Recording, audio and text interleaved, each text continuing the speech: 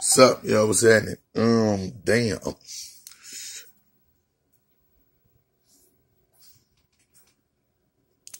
Alright. Y'all know Bushwick Bill from the Geto Boy, you know, um, Willie D and um Scarface Mind playing tricks on me, right? Know, cause you know, Bushwick was a little short dude. He got shot in the eye. hmm And that's when he put him on a stretcher in the video. And they was rolling him into the hospital. And he still had the bandage on his eye in the video. Now, I didn't research this because I was just thinking about it. But I'm gonna go into it later, have a part two. But um he had a um check my notes here. He had a benign mass, supposedly. And then they said, well, it, it doesn't do anything. Fuck you mean?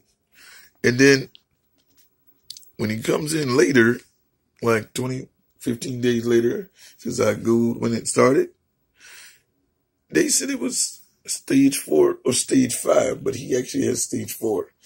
And it goes undetected until it gets to four and five. What the? No! Don't nothing skip three stages like that. And I and, and I'm not saying that Bushwick is like the most intelligent nigga on the planet, but damn. What. Huh? Why do you interrupt Oh, me? Like I don't know how to do my job. Um, so how does it skip that? Like there is no stage one or stage two or stage three? That doesn't make sense. So in every case of pancreatic cancer, y'all telling me it always skipped the two and the three because it's undetected? Nigga, I don't think that's true. I swear to God, I don't. That's like, cause every every condition has stages, nigga. Like,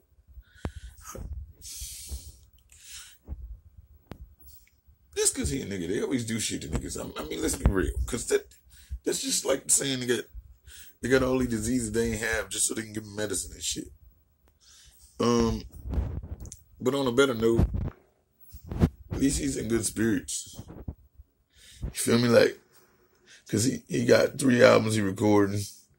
And side note, he was alright as a rapper, but it was 90s and they get like, mm, you might have to start over again, but he got a documentary coming and